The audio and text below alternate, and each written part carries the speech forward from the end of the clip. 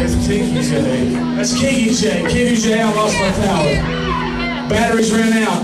Been there, folks.